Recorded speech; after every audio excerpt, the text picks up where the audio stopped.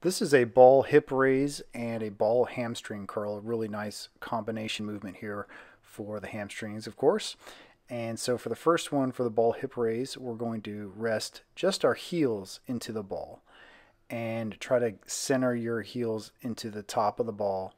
And we're just going to drive your hips up in the air as high as you can. You will have some instability there, so use your core to stabilize, and you can also put your arms out to your sides to stabilize as well and your shoulders and neck and head are all just going to rest on the ground. But we want to keep our lower back and hips off the ground. We're going to drive them up as high as we can, squeeze those hamstrings and glutes at the top, and then lower all the way down, but try not to let those hips touch at the bottom.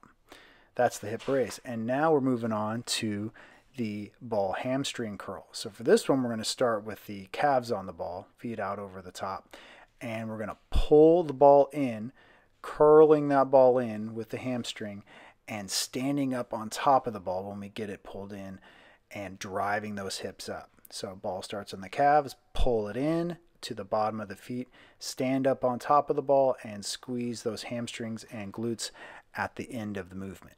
Keep that core tight the whole time. Exhale as you pull that ball inward.